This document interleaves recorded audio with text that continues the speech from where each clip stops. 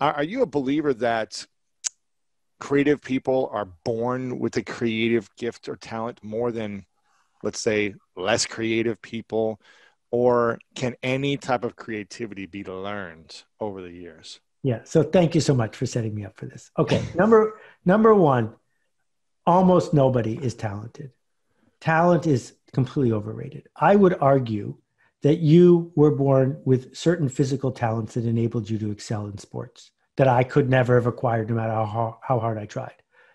Even that said, though, Larry Bird was not born with the kind of talent that Michael Jordan was. Mm-hmm. Larry Bird just grounded out and shot more practice shots than anybody else. That's a skill. And hustled. Yeah. Yeah. But the good kind of hustle. Yeah, exactly. And, and so it feels to me like talent is a betrayal. It is undermining all of the people who put all that work into skill. Don't call someone skillful talented because they're not. They're skillful.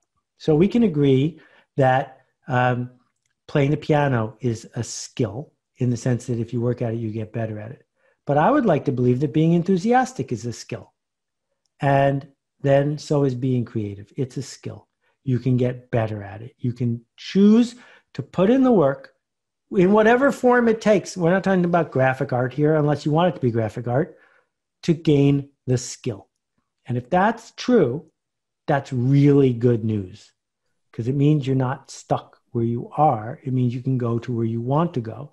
And it's really good news because skills can be acquired. Mm-hmm. And that fills me with optimism about so many things in our world. You know, we can point to the human condition and say people are just doomed to hate each other and to undercut each other. But I can point to a culture where that's not happening. So how did that happen? Well, it's because it's a skill. What are the three biggest skills you think all human beings should acquire, whether it be creativity or some type of attribute that to just make them better human beings, happier, more quote unquote successful, richer lives yeah. Uh, with relationships, health, everything. What are those three skills, whether you're 20 or 60? What three skills should we acquire to live a better life? I love this. Okay, how about this?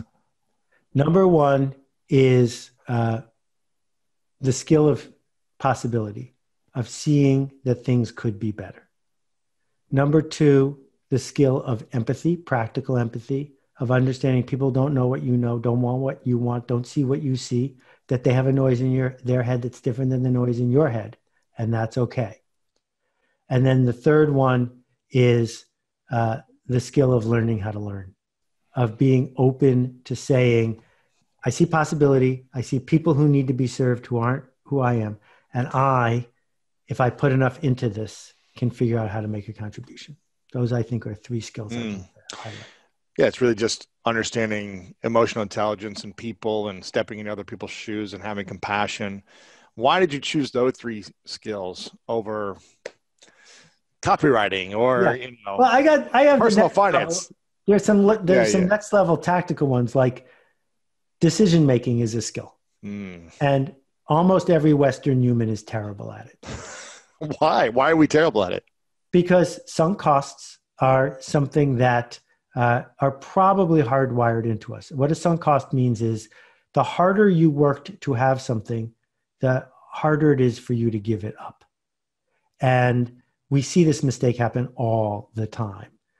The, the example I'll give is um, pre COVID, you've got uh, two tickets to the movies, and uh, they were really hard to get, and you told your girlfriend that you were going to go to the movies together. And on your way, you bump into a friend who says, I got two front row seats to see Hamilton. Do you want to go? That means your tickets are worthless. And a lot of people go, Well, no, no, there's no well. It doesn't matter how much those tickets cost you. They're sunk. You already made that decision. Mm. You can't unmake it. And so we stick with a job longer than we should, or we stick to a way of thinking about the world longer than we should because it costs a lot. We went to law school, so now I have to be a lawyer. No, you don't. The law school degree is a gift from your former self. You don't have to take it. You can say no, thank you, and go do something that gives you joy instead. So sunk costs is a is a giant skill based area. And then what goes right next to that is the skill of saying, that was a good idea, but I have a better one now. Ooh. And that takes Expl- explain that. So I launched this idea and it started going and I built momentum for a few years, but now this is actually a better idea for the time or for my life or whatever. And so I'm going to let go of that thing and move into this. Well, it's not that's that's definitely true. That's sunk cost. But then beyond it, okay, I'm the boss and I built this organization and this is how we do our expense reports. But now we're going to do expense reports this way because it's better. Mm. But usually what happens is someone says that problem's solved. I don't have to revisit it. So if I think about the car industry, the car industry said it took us 90 years to develop the internal combustion engine. That was a lot of cycles, a big sunk cost. And someone shows up and says, Why don't we make electric cars? And you go, Because internal combustion isn't broken. Because I can show you that if we look at an early electric car compared to a state of the art Lexus, the state of the art Lexus is better, not a problem. Whereas what would have transferred billions and billions of dollars of assets away from Elon Musk is if they had said, nope, you're right. We're just going to copy all the things you're doing that are working and make it even better. Because we have an improvement ratchet in place, a dealer network in place. We're trusted. We could go to the races. But senior executives making seven figures said, nope, nothing could be better than this. Mm. Yeah, I tell you what, I got a Tesla a few years ago, and it's hard for me to think I'd ever want to go back for a day to day car that's not electric. Personally, it just. But let's think about Tesla for a minute, because Tesla made a whole bunch of decisions a few years ago that they refused to reconsider. Right? That the inside of the car should have no cup holders of a certain kind, that the inside of the car should have these things on the dashboard, but not these things, that the service needs. So they're as guilty of the same thing. They took a leap, they hired a thousand people and now they're stuck on their sunk costs. Right. That's true. That's true. And they'll be stuck until they innovate or continue to open up. Why why do we need reassurance?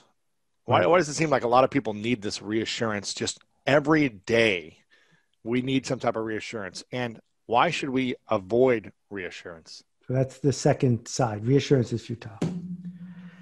Reassurance feels really good right? It so does, we get off, doesn't it? It's like we, oh. we get off this call, the phone's ringing, and Kai comes to you and says, "Hey, Lewis, great job. It's Oprah, and Oprah was listening. She just wants you to know what a great job you did. Right? right. So you're you're you're fly, flying for like two hours, maybe three, and then you need to hear it from somebody else. Mm. Because what it means to get reassurance is that someone is telling you that the future is going to be okay. And it feels good because we would like the future to be okay. But deep down, we know that that person doesn't know that the future is going to be okay. So as soon as reassurance shows up, it reminds us that we are confronting an uncertain world and we want more of it. We want to be held safely. And it doesn't scale. You can't get enough of it. So what's the alternative? The alternative is to refuse reassurance. So when someone says you did a great job, Seth, it was amazing. That was the best thing I've ever seen in my entire life. How do we refuse that? Well, that the answer is thank you. I appreciate you being present and giving me that feedback. But it's reassurance if you then say, and your book launch is going to go great. Because that you can't know. Yeah. Right? That's the second half of that's what's implied is that I'm going to tell you about tomorrow. And What's the alternative? The alternative is to say, nobody knows about tomorrow. And looking for external validation that I'm going to catch that fish, that that thing I am hoping for is going to work, that other people will get the joke.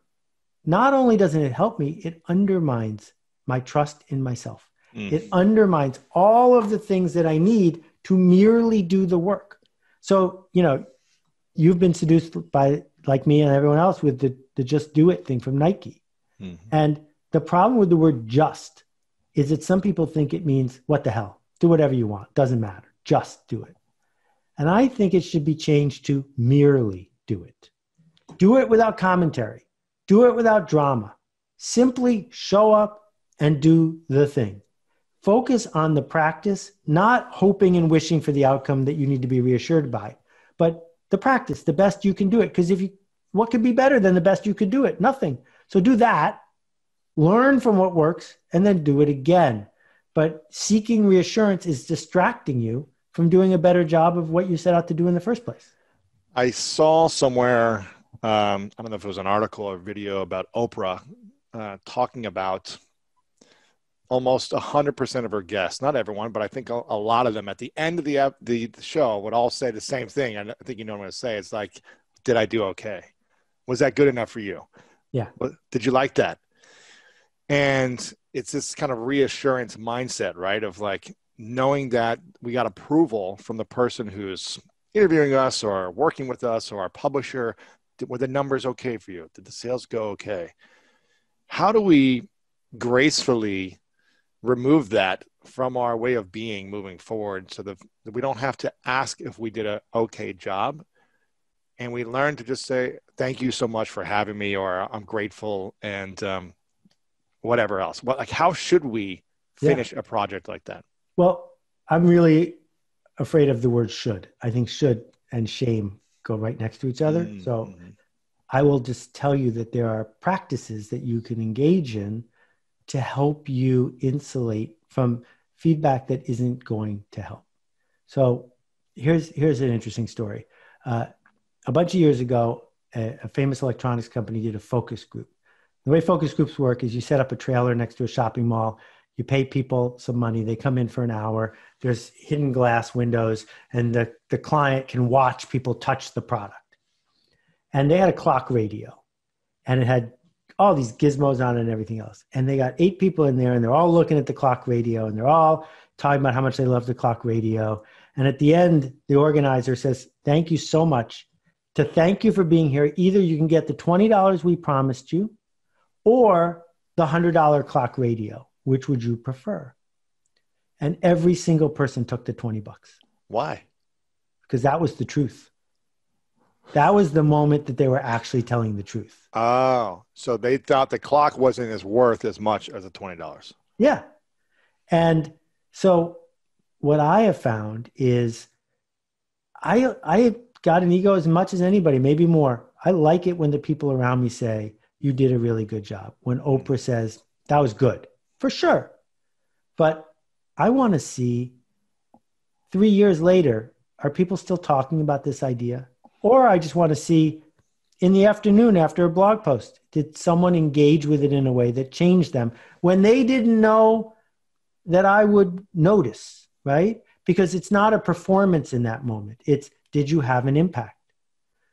So if you go to Dia Beacon uh, in upstate New York and watch what happens when people walk into a Richard Serra sculpture, which weighs two million pounds, I hope Richard has seen that happen because that's genuine service. He made this. The curator doesn't matter, the dealer doesn't matter. This person had their breath taken away. That's what was mm-hmm. supposed to happen, and it did. And so we play this game with everybody around us. Uh, do I look fat in this dress, et cetera, et cetera? and some of that is totally legitimate. It, it papers over our momentary insecurities, and there's nothing wrong with that. But when it comes down to the practice and the art that we seek to make. I think it makes sense to surround ourselves with people who say, I respect you, you're on to something, you can do even better. And for us to start a cycle of what happened when the, this went into the world. Because when it's in the world and people had choices, what did I learn?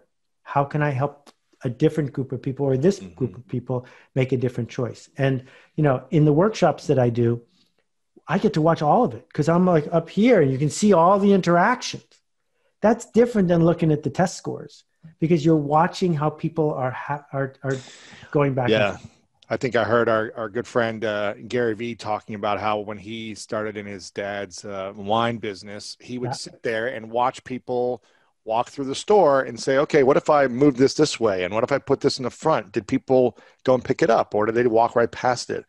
Observing the results and the exactly. impact that you create on people, whether that's an experiential design or a physical design, whatever it may be.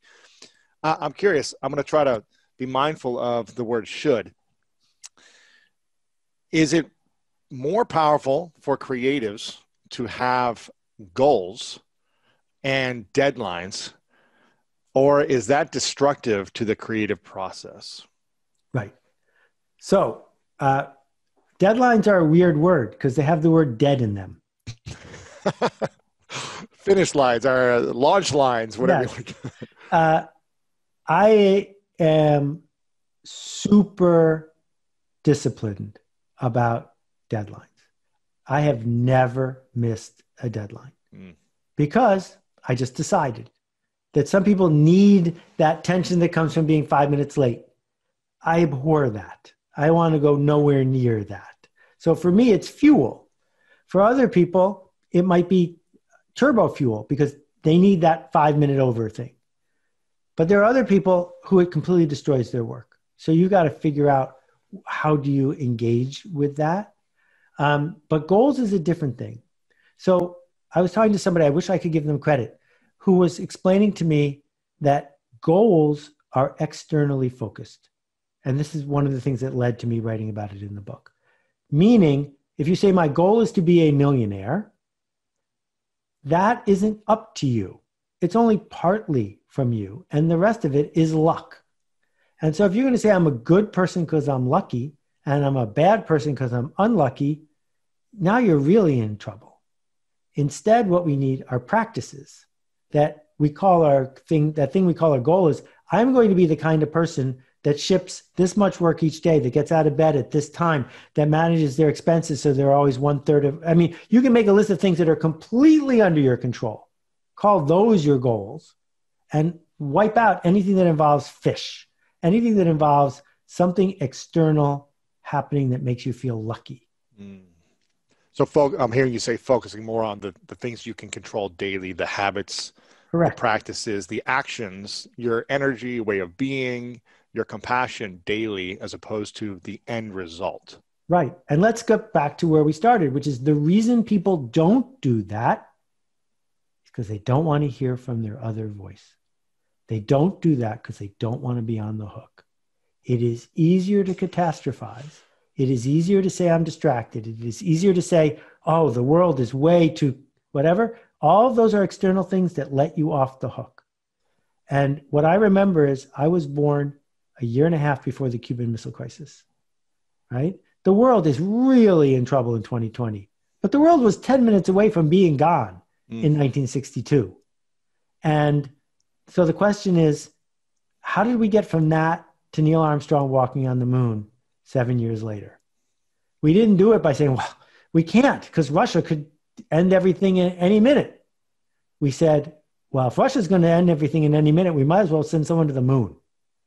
And my friend Roz Zander helped me learn the difference between but and and. So here we go.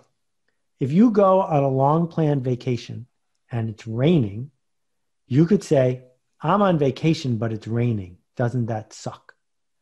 Or you could say, I'm on vacation and it's raining. And the and leaves room for you to say, so I can take a cooking lesson. So I can have some quiet time with my spouse. So I can figure out how to work for social justice. All of those things happened because it's raining. And so, yeah, it's raining right now. It's really bad. And you can do something. You can't mm-hmm. fix everything, but you can make one person better. Mm-hmm. What are the habits that you believe would support more creatives uh, if they did these habits on a daily basis from your 30 plus years of experience of what's worked for you and what you've seen other people you've studied do? What are those few habits you think could really help them further their inner happiness and hopefully accelerate the luck on the outside as well? Yeah. So we have to not fool ourselves into getting hooked on the external that we'll pretend we're we're not, but deep down we are. and so, you know, Chogyam Trungpa Rinpoche said, uh, the bad news is we are falling and falling and falling, and the good news is there's nothing to hang on to. And as soon as you acknowledge that there's nothing to hang on to, it gets so much easier to fall. You just let go, and you don't have to keep trying to grab for something. Right, and so it's the the grabbing is the biggest thing. Uh, I write in the book a little bit about Julia Cameron's morning pages.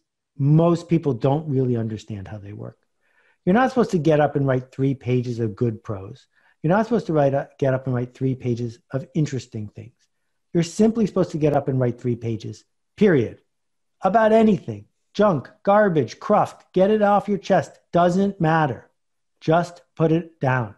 Because as soon as you do, for the rest of the day, if you try to bring it up again, your subconscious says, ah, I already wrote that down. I don't need to revisit that. It's taken care of. I wrote it down. I've discharged that.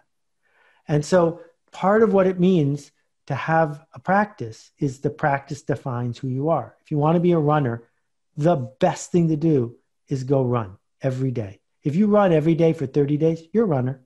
You don't have to subscribe to Runner's World. You don't have to have fancy equipment. You just have to run every day. If you want to be a writer, you have to write every day. And you don't have to show it to anybody. You simply have to do it. And not showing it to people lets you off the hook at some level, but at least you can see yourself as that kind of person.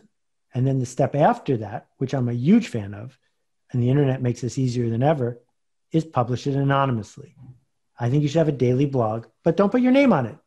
And after you've written 30 or 40 entries of your daily blog or made five or six episodes of your podcast, you're going to want to put your name on it. And then you can. But begin with, and if your name's not on it, it's so delicious because there's no upside and there's no downside. So you're simply doing it, and that's all you're going to get out of it is that you did it. Yeah. I want to ask you about money for a second because I think it's a topic that a lot of creatives uh, shy mm-hmm. away from, and I think this will actually be, might be the, some of the most powerful stuff people hear is around the topic of money. You've been financially successful. You launched a business 30 years ago that you sold and exited. You've had, you know, many hits in your books and businesses. You've made money as a creative. It's sure. fair to say that. Um, how can what should creators be thinking about in terms of what if they want to create great work, but also they want to be rich? They want to make millions. They want to, for the heck of it, to support their family, their lifestyle. They want to make money. Yeah what should they be thinking about in terms of art and money and marrying the both without it feeling bad or icky or ah, I'm selling myself in a bad way to make money? How can they approach it mentally so that it doesn't cripple them, but they achieve the results they want? I, I my answer may surprise some people, but here we go. The odds that you will make a lot of money doing exactly what you want are zero to a rounding error, zero. it is possible to make a lot of money. It is easier now for people of privilege to do it than most any other time in history because of the network effect, because of the power of software, because of tools that give you uh, reach to millions of people. The way you make a lot of money is you figure out what people with money want to spend that money on to solve their problem now. And you go solve that problem. And then over time, you amplify their need and you let them do it again. That is how everybody, with few exceptions, who has made a lot of money has done it. Those people don't get to say, oh, but I also have this idea and I need to express it because I think it's generous. Those are different things. And only in the last hundred years has it even been conceivable that you could get paid money to do what you love. This is brand new idea. Mm-hmm. So I am in favor of doing what you love and charging for it if you can, because it holds you responsible, puts you on the hook, creating tension, serving people you want to serve. And maybe you'll get paid a little bit. But if you want to make a lot of money, listen to the market and show up to the market with something the market wants to buy. Because you don't get to insist that the market is wrong when you're asking the market to pay you something. Do it without commentary. Do it without drama. Simply show up and do the thing. Focus on the practice, not hoping and wishing for the outcome that you need to be reassured by, but the practice, the best you can do it. Because if you, what could be better than the best you could do it? Nothing.